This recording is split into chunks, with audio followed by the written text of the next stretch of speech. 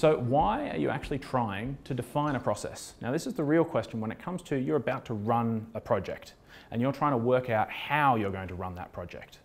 And why are you trying to define the project? You are trying to provide a set of rules for your team to work with.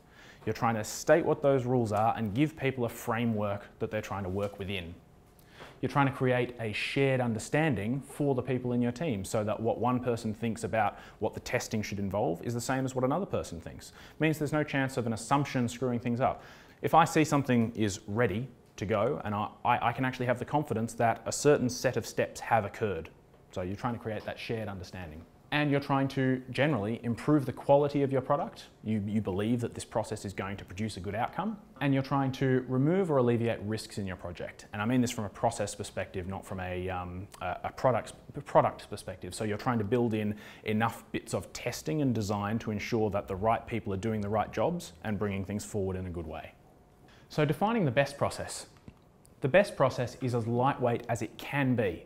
That is not saying that there is any upper limit on how involved your process can be. It's just saying if you see extraneous steps in there, remove them. The more extraneous steps there are, the more chance there is for people to make mistakes or for things to fall through the cracks because every, every uh, jump between parts of the process is a handoff. So we talked about waste. Um, so you want it to be as lightweight as it physically can be without, um, uh, without being under, underdone satisfies the needs of the project. If you have a project that will run well in Waterfall, use Waterfall. It's fine. Think about what you're trying to achieve and how best you can achieve that. It doesn't actually matter whether or not it doesn't meet your, uh, your, your personal preferences. Do the right thing for the project.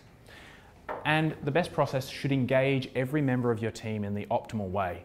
So if you have people who are brilliant graphic designers and you want a visually stunning product, then you should give them a space in the process that allows them to bring their skills to bear.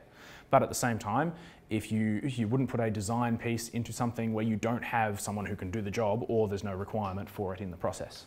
So that is talking about business processes. So I love just learning about general processes all of the different ones you can have and cherry picking them when it comes to running a new project. Whenever we start a new project, the first step is to sit down with the people in the team and discuss how you're going to roll it out.